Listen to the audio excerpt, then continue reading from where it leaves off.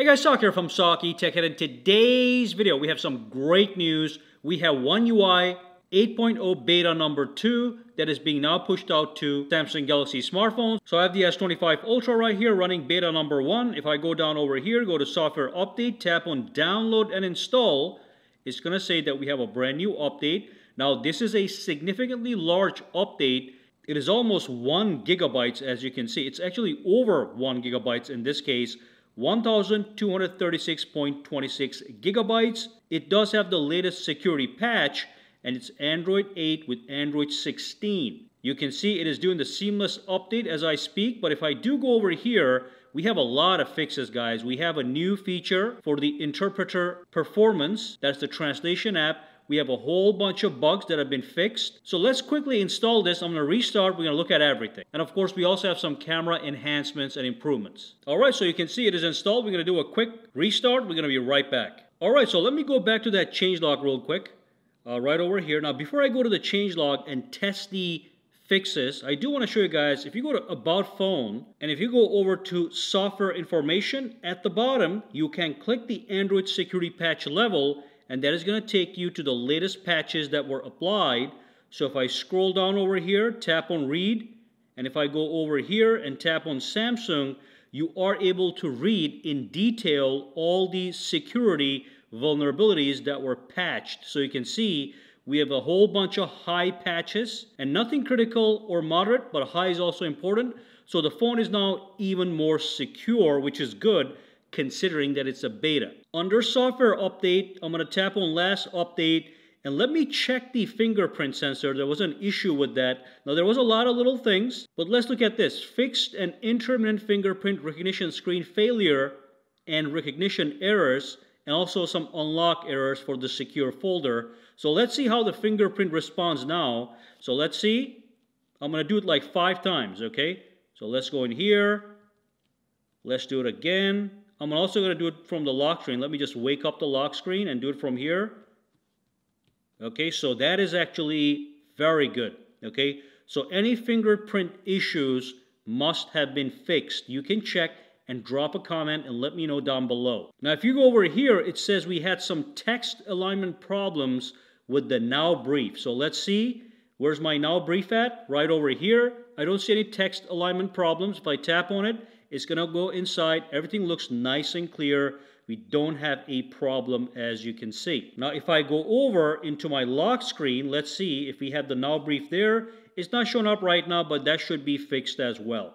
Alrighty, uh, let's go back here into the log. It says improved battery widget icon, okay? And also fix the issue with the widget size on the lock screen increasing. So let's look at the lock screen and see if there's anything funny going on here. Wallpaper and style, tap over here, okay? First, let's check the widget. So let's go to the battery widget. I'm going to add them both. Okay, let's delete this one, add this one. Uh, delete this one and add this one. So we have both our widgets in there. I'm going to tap on done. I'm going to go to the lock screen. Couple times in and out. Sometimes things get messed up. But right now it looks nice and clean. Let's go inside. Let's do it one more time. Okay, so that widget is uh, improved and also any bugs relating to that widget have been fixed. There were some issues with widget sizes just increasing in size for no reason. That's been fixed as well. And then we have a couple volume fixes. So it says fix the issue with volume being lowered when making a Bluetooth call in a vehicle. I'm going to have to test this in the car to make sure this is resolved but I'm sure it is resolved if they're saying so. Even though I was having Android Auto connectivity issues, I'm going to test that independently and see if that's worked. So if you were playing a game and you were unable to hear a notification, that's been fixed as well. You're going to hear it now. Now some Galaxy AI weather wallpapers are fixed. So they're talking about this. If I pinch the screen, go to wallpaper and style, and go over to change wallpapers. So here's the AI wallpaper that reacts to weather. So they have fixed that. So let's see how that is looking now. I'm going to choose a wallpaper. Here's one right here. So if I tap on play, uh, if it was raining or snowing outside, you would see rain or snow. Wow, you know what? That looks much better. So now we have water droplets. Look at that. That's perfect. Okay. So here's the snow. So that's working properly. And then, like I said, we have the rain, but we also have the water droplets, which is great. Okay. That adds another layer to this uh, background wallpaper. So that's been fixed as well. It should be behaving properly. And then we had the gesture problem where you could not go back. Let's see if that's working. Let's do it five times. Let's do it twice. Okay, so that's working as well. That's been fixed. And then we have the air command fix and the alarm sound fix.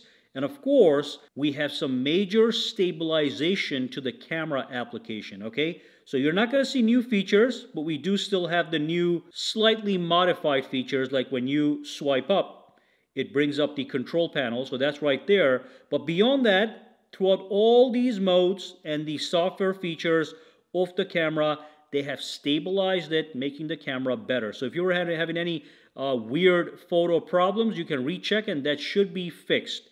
It is a ma massive up update, so a lot of things happen under the hood, which is fantastic. I've been using the Samsung Galaxy S25 Edge because I was having so many issues with One UI 8.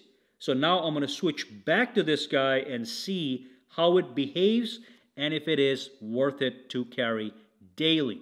Guys, any questions, comments, or concerns? Drop them down below. Have a fantastic day.